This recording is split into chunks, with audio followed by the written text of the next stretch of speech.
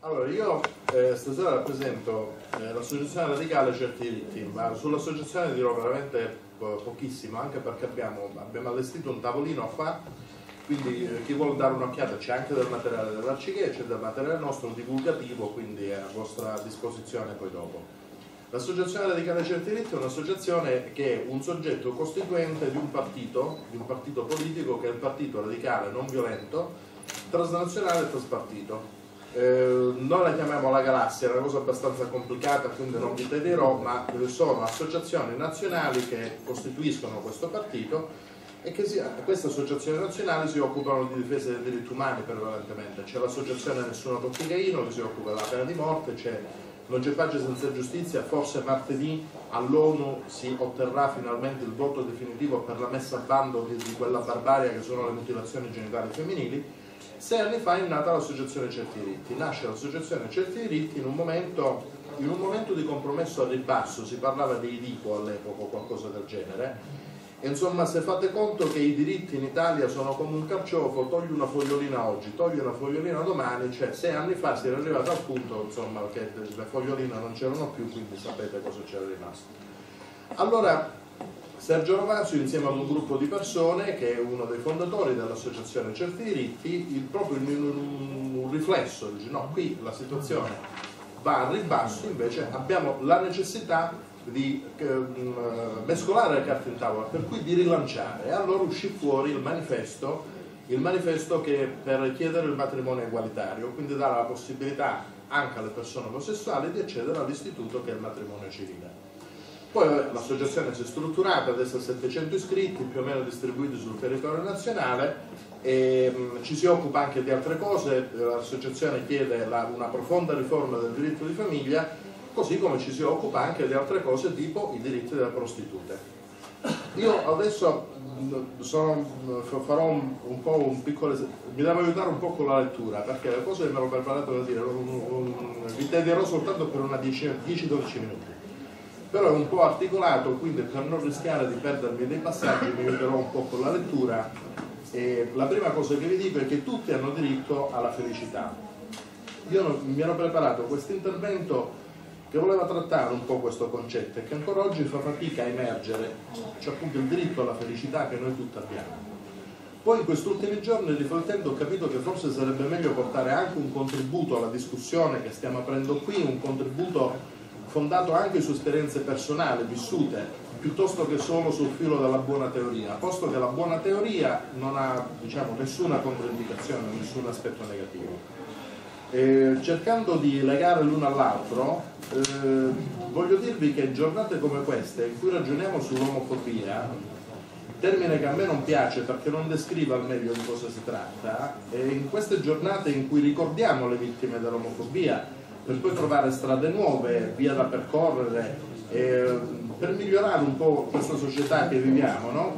Eh, questi giorni, lo dico, per un sopravvissuto, per un sopravvissuto come me, eh, sono giorni duri, anche complicati da portare avanti.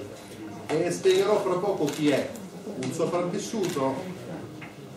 Ci ha raggiunto il segretario generale sì. regionale. Salutiamo il segretario. E quindi eh, dicevo che giorni come questi per um, un sopravvissuto come me sono giorni duri e un po' complicati da portare avanti e vorrei spiegarvi fra poco, lo, lo farò fra breve, ehm, chi è e che cos'è un sopravvissuto. Dicevo, il diritto alla felicità è un concetto ampio, centrato sulla persona, sulle sue mille sfaccettature, fa fatica a emergere in questo contesto sociale, soprattutto adesso in questo contesto di crisi economica, per dirne una, eh, la crisi economica adesso ha ingurgitato tutto, no? ti impone ad accettare qualsiasi lavoro a qualsiasi condizione, quando si parla di diritti, di discriminazione, figuriamoci poi di diritto alla felicità, tutto passa in secondo piano, assolutamente tutto. Tutto è riportato alla crisi economica e questo è un errore. È un errore perché i diritti della persona vanno tutelati sempre, sia quando c'è crisi sia quando non c'è non esiste nemmeno una buona ragione per soprassedere o per dire che adesso ci sono cose più importanti, de, eh, più importanti delle altre. Tutto è importante. e questo ristagnare un po' delle cose non fa altro che allontanarci dal costruire quella società inclusiva dove ognuno può e deve avere l'opportunità per essere felici. Non parliamo poi del concetto di vivere la propria sessualità senza insomma, che nessuno debba giudicarti, lo dico nel bene e nel male, oppure insultarti, alzarti le mani, come spesso accade, perché in momenti difficili come questi il muro più alto purtroppo è eretto proprio dalle istituzioni e allora sembra che parlare dei diritti della comunità LGBT sia sempre fuori luogo e anche questa è una forma sottile di discriminazione. No? Il danno sociale che tutto questo comporta è enorme. Ora quindi vorrei raccontarvi un'esperienza, un'esperienza personale. Vi dico la verità, è la prima volta che ne, parlo, che ne parlo in pubblico e non credo sia una scelta sbagliata perché sono convinto che possa essere eh, utile a dare un po' il significato alle cose, alle cose che ti accadono. Poi quando sono brutte le cose che ti accadono magari si può trovare anche qualcosa di buono perché possono tornare utili per gli altri. Era il 1992 e io ero un giovanissimo imprenditore di 22 anni e vivevo a Lugano, in Svizzera. Il mio compagno ne aveva appena 18 e stavamo insieme da circa un anno. Una notte io rientravo da un viaggio di lavoro in Ungheria e lui ha pensato di togliersi la vita. Non ha lasciato il classico biglietto. Io l'ho sempre ringraziato per questo, perché in una circostanza del genere una parola fuori posto no, che potesse essere interpretata male avrebbe potuto ingenerare un senso di colpa ancora maggiore e in circostanze simili penso che ci sia il rischio che una persona poi dopo non riesca a liberarsi mai. La conseguenza è stata che gli anni successivi sono stati veramente difficili. Sì, perché è complicato poi andare avanti quando si resta soli così, avere a che fare con sensi di colpa, depressioni, cure, eh, perché che non riescono poi ad avere risposte precise, questo poi forse è il dramma maggiore. E Gianni io non lo so perché si è suicidato, o meglio non me la sento di interpretare un gesto che io personalmente ho fatto molta fatica ad accettare, però vedete è un gesto col quale prima bisogna diciamo, fare i conti e poi però bisogna fare, farci pure la pace, altrimenti non, non si riesce ad andare avanti e ho dovuto accettare questa scelta pur non condividendola ma con rispetto. La causa forse è stata in quel padre che quando era gentile lo chiamava ricchione di merda. Mi scuso di queste parole, ma le parole hanno un peso e vanno considerate anche quando sono dure e scostumate come queste. Sapete perché? Perché altrimenti non si capiscono. Se queste parole si nascondono, perdono il significato, hanno un significato profondo, che ledono, che segnano, e alla fine si pensa solo che sono parole, ma non, ma non è vero, non è così, non sono solo parole. Forse Gianni si è ucciso perché non potevamo raccontare a nessuno una gioia che se sei nelle condizioni di non poterla raccontare a nessuno, pensateci, è come se fosse sempre a metà, mai piena. All'epoca però non credo che le cose siano cambiate negli ultimi vent'anni a questa parte, nella comunità italiana all'estero, certe espressioni di vita, di sessualità, no? Non so, sembra un po' che intacca per loro quella fama macista dell'italiano, no? tanto virile, tanto latellover. Insomma, ad avere una gentilezza all'epoca in quella comunità ti beccavi come minimo del depravato. Quello che accade con le parole in molte famiglie, a scuola, sul posto di lavoro, non sono parole innocenti perché sono innumerevoli i casi in cui ragazze e ragazze, donne e uomini, la maggior parte delle volte non dichiarate, cioè che non hanno fatto coming out, che non hanno dichiarato il proprio orientamento sessuale, quello che accade in questi posti sono cose inenarrabili, perché sentirsi demolire ogni giorno, anno dopo anno, sentirsi dire di non essere adatti, malati, sbagliati, doversi nascondere, celare i propri sentimenti, mette veramente a, a, dura prova se stessi, mette a dura prova l'autostima, l'immagine di sé, mette a dura prova tutto. Questo spessissimo accade proprio nei luoghi dove poi una persona dovrebbe sentirsi più amata, protetta, no? E altrettanto spesso accade anche dopo essersi dichiarati, dopo aver fatto conoscere il proprio orientamento sessuale io penso che se esiste un'ingiustizia, se esiste un'ingiustizia che merita di essere combattuta, è proprio quando la società si dimostra ostile con determinate persone e questa è una di queste circostanze. Vedete, quello che ho capito è che a differenza della stragrande maggioranza delle persone che riescono a costruirsi una corazza attorno, per sopportare i colpi che ti arrivano, alcuni questa barriera non riescono ad alzarlo, non ce la fanno. Mi chiedo sempre che razza di società è questa se resta nell'incapacità di progredire per difendere ehm, le persone più deboli, quelli che non ce la fanno. Mi chiedo che senso diamo alla società se non siamo disposti a fare di tutto per difendere e amare queste persone, che sono fragili, ed è vero, sono fragili, allo stesso tempo sono belli come cristalli. Che senso vogliamo dare alla nostra umanità? E quindi ecco il senso delle cose, il senso di questo incontro che sta parlando alle istituzioni, che poi sono fatte di persone, di persone con responsabilità precise ed è per questo che chiedo anch'io a gran voce che la provincia e i comuni si facciano carico di aprire i dipartimenti contro le discriminazioni, così come proponiamo insieme alla CGL. I dipartimenti contro tutte le discriminazioni, perché è un errore pensare che ognuno pianga la propria per proprio conto. Le discriminazioni sono discriminazioni sempre e comunque, per orientamento sessuale, per nazionalità, per razza, per colore della pelle, per età, per handicap, per tutte le altre cose. Io ringrazio la CGL e faccio il nome per tutti, quello del segretario generale Giuseppe Valentino. Grazie.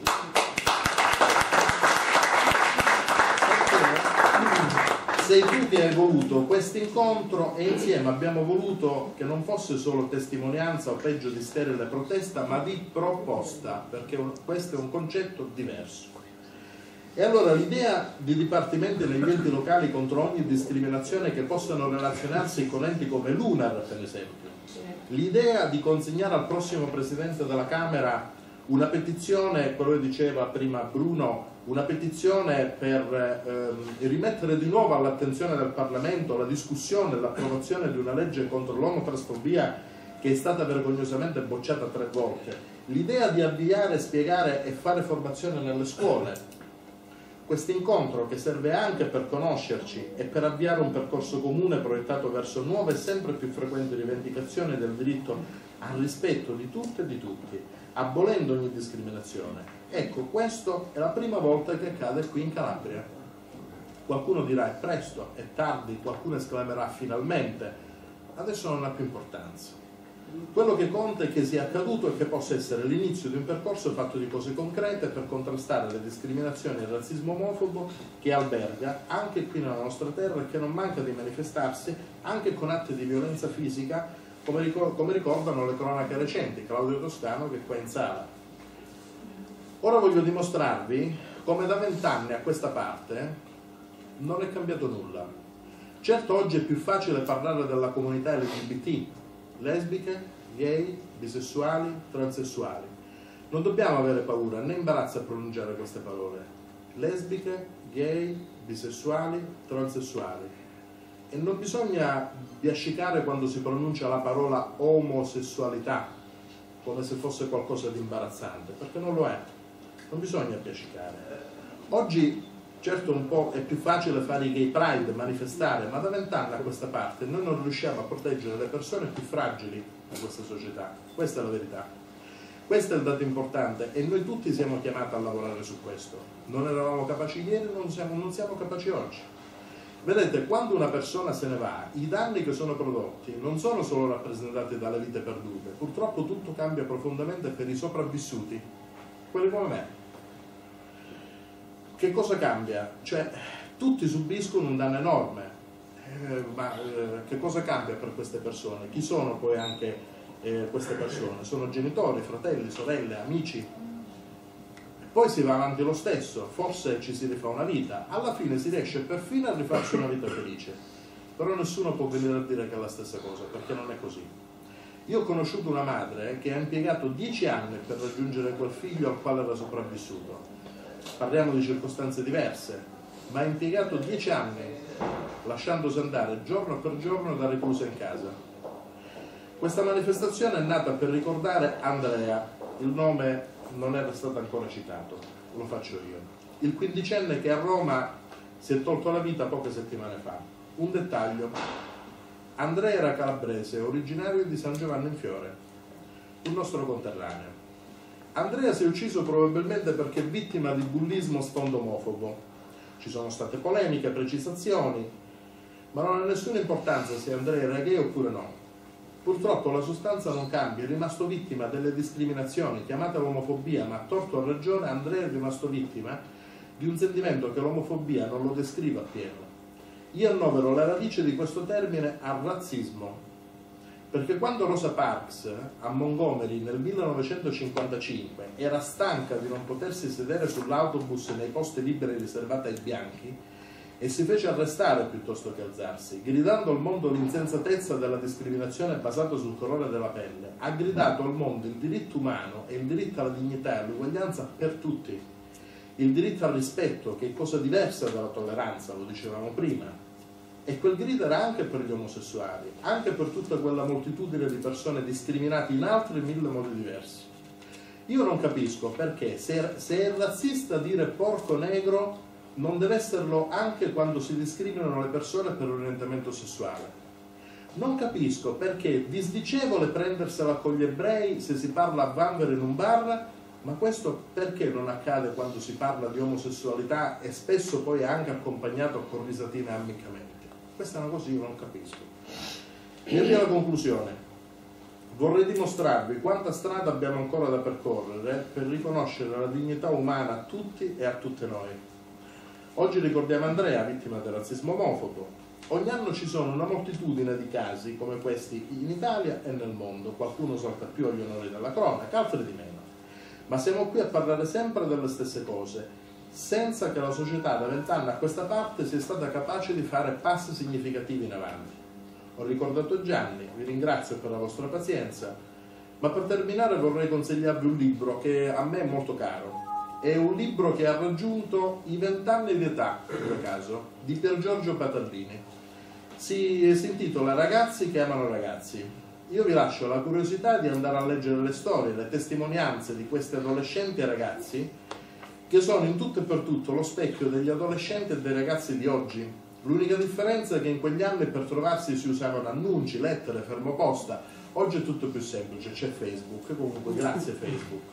Ma di, ma di questo libro è stata pubblicata la riedizione proprio quest'anno e il contenuto è identico, tranne che nella prefazione dove l'autore lamenta proprio che in questo ventennio non è cambiato nulla e si rammarica.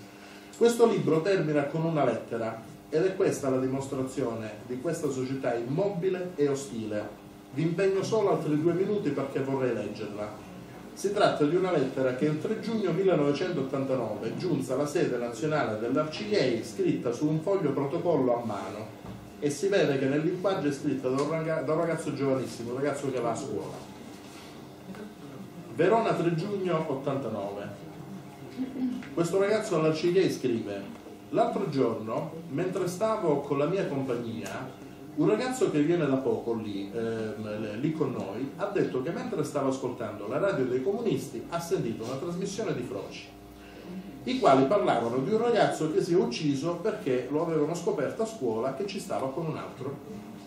Io quando ho sentito quello che diceva questo ragazzo mi è venuto come un colpo al cuore perché quel ragazzo che è morto si chiamava Luca quella volta ci hanno trovato a fare insieme nella doccia della palestra. Io però ho dovuto dire che era stato lui. Se noi compagni di scuola andavano a dirlo ai prof e mi sputtanavano anche con la mia famiglia, così mio padre mi portava dallo psicologo e mi metteva in collegio, come ha fatto il papà di Luca prima che si ammazzasse. Volevo dirvi eh, che anche, che anche a me, come a Luca, mi piacciono i ragazzi invece che le ragazze e quella volta in palestra ero contento di fare con Luca, perché lui era un paninaro molto bello, biondo e con due grandi occhi neri.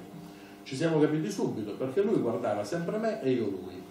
Poi una volta, durante la ricreazione, io sono andato nei bagni della palestra, dove non ci va mai nessuno fuori dall'orario di lezione, e l'ho aspettato là, fino alla fine della ricreazione. Poi lui è arrivato. Quando me lo sono visto davanti mi batteva il cuore per l'emozione e mi tremavano le gambe. Poi ci siamo baciati ed è stato bellissimo. Poi ci siamo rivisti ancora altre volte e una anche a casa mia, quando i miei sono andati via, fino a quando non, eh, fino a quando non ci hanno scoperto in palestra.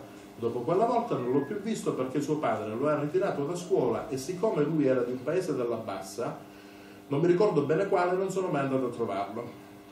Quando ho saputo che si è ucciso ho pensato di farlo anche io, ma dopo non ci sono riuscito. Però sono stato male e non dormivo la notte perché Luca è morto, se è morto, è anche per colpa mia. Eh, un'altra volta volevo dirlo al parroco, ma non l'ho fatto perché lui una volta in chiesa ha parlato molto male della gente come noi e tutti gli battevano le mani e alcuni uomini si alzavano in piedi per battergli. E io con questa scena stavo ancora peggio. Allora ho preferito dirla a voi queste cose perché dicono in giro che i ragazzi del vostro partito difendono la gente come me e voi. Io so chi siete voi, o per meglio dire so dove state e vi ho anche visti. So dove state perché state proprio davanti alla mia scuola. Me l'ha detto un mio compagno di scuola quando stavamo uscendo diceva che in quel palazzo ci sono i froci e le lesbiche. Poi una volta sono rimasto per più di mezz'ora a guardarvi quando davate da bere alla gente in piazza Bra, quando c'è stata una corsa questa primavera, e mi sono anche avvicinato e uno di voi molto gentile mi ha dato da bere e mi ha guardato con un sorriso. Sono stato così contento e ho ancora il bicchierino di carta in camera mia. Prima o poi spero di venirvi a trovare, eh, che ho visto il vostro indirizzo davanti alla mia scuola e me l'aveva detto quel mio compagno che aveva visto un adesivo giallo. Se usate questa lettera, per favore non parlate del nome della mia scuola e del mio, io spero che Luca dall'alto dei cieli mi perdoni e che sappia eh, che lo penso sempre, che gli voglio bene e se sapesse dove è la sua tomba andrei a mettergli dei fiori. Ecco, in questa lettera, e sono passati vent'anni, c'è la storia di un altro sopravvissuto, perché quello che poi dopo alla fine accade, e sono pronto a scommettere che anche per questo ragazzo qui che ha scritto questa lettera vent'anni fa, giornate insomma un po' come queste, sono dure da sopportare perché certi dolori possono passare, forse possono passare 20, 30, anche 50 anni, però ci sono certi momenti che è come se si fossero vissuti ieri.